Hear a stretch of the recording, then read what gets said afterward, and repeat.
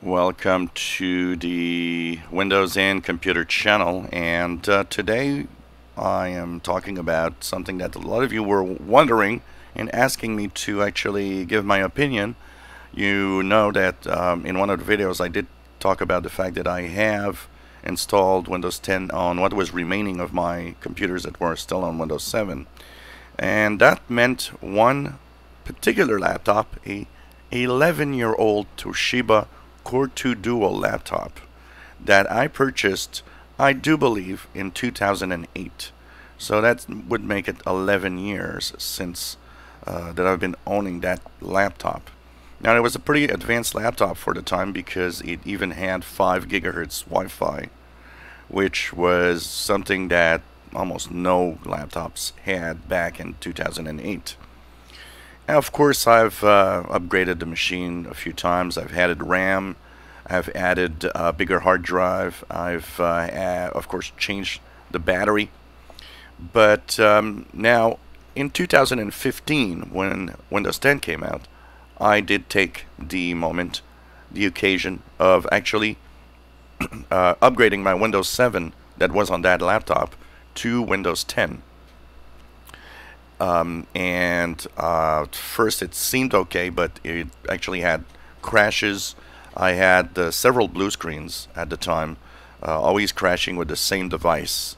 Um, and I've, of course, had some uh, weird behavior. The computer was kind of running 100% CPU almost all the time.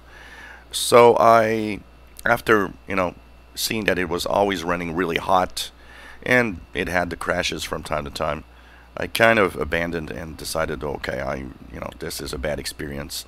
Um, and I, you know, I mean, back in 2015, that meant it already had seven years.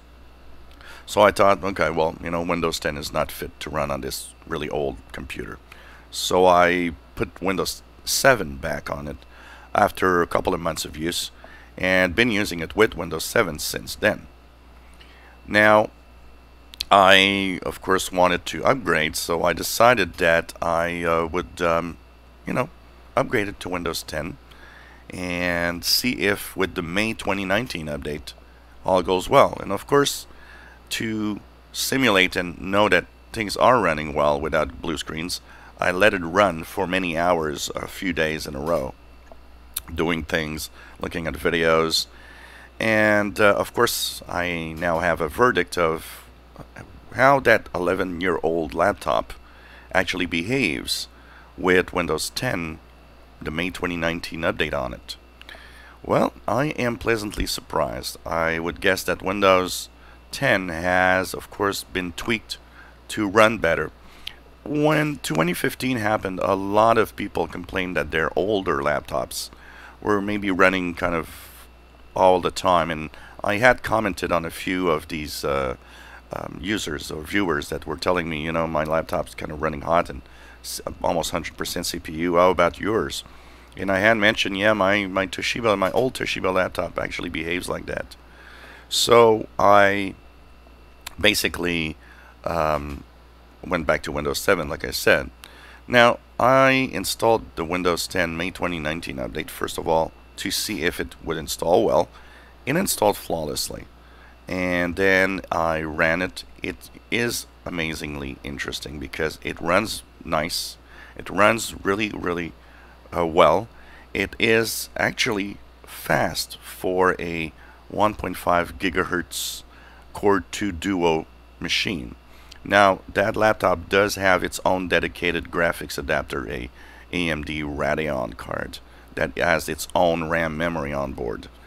But still, it is surprising how fast it actually runs for an 11 year old laptop. It's almost like giving a new life to the old laptop, which is kind of interesting.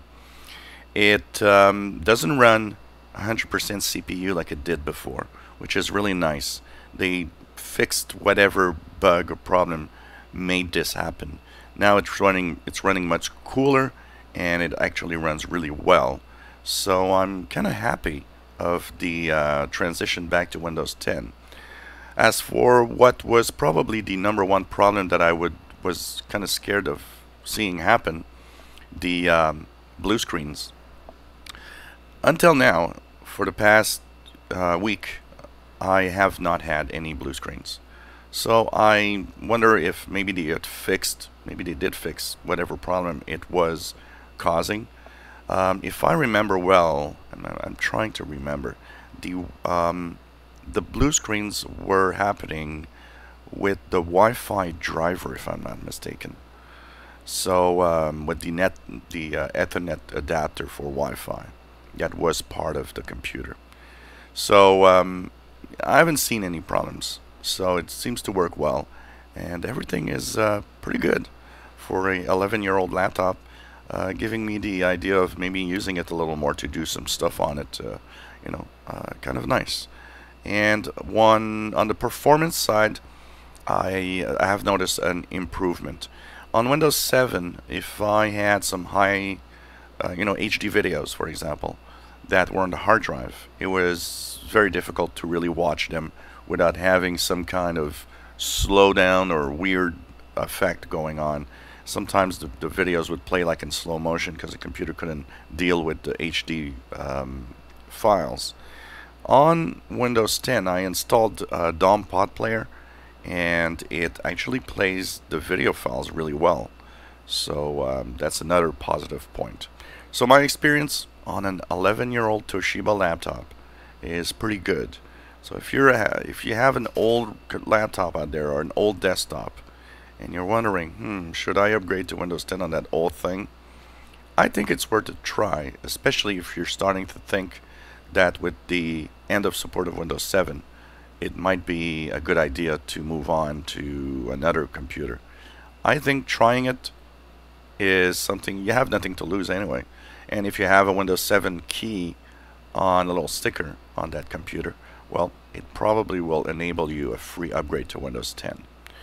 If you enjoy my videos, please subscribe, give us a thumbs up. Thank you for watching.